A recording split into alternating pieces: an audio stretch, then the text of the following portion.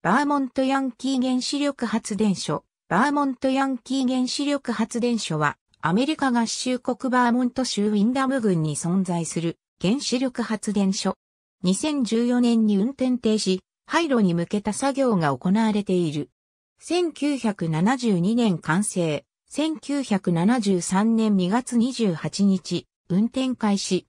ゼネラルエレクトリック製の沸騰水型原子炉による発電所で民間電力会社であるエンタジー社が65万キロワットの電力を供給した。バーモントヤンキー原子力発電所は原子炉一機による発電所であり、ランニングコストで見劣りする存在であった。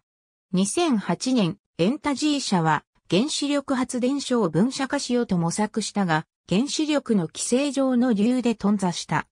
その後、原子力発電所の免許更新時期が近づいたことから、アメリカ原子力規制委員会へ更新を申請。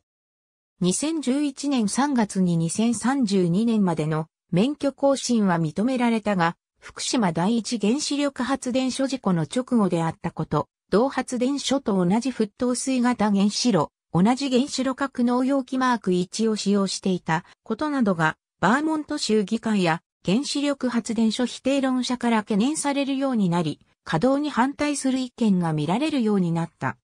エンタジー社は稼働に反対意見や動きに抵抗したものの、一方で、シェールガス革命が進行した影響により、火力発電所のランニングコストが数年で半額程度になっており、コスト高の旧式原子力発電所を維持するメリットが見出せない状況になってきた。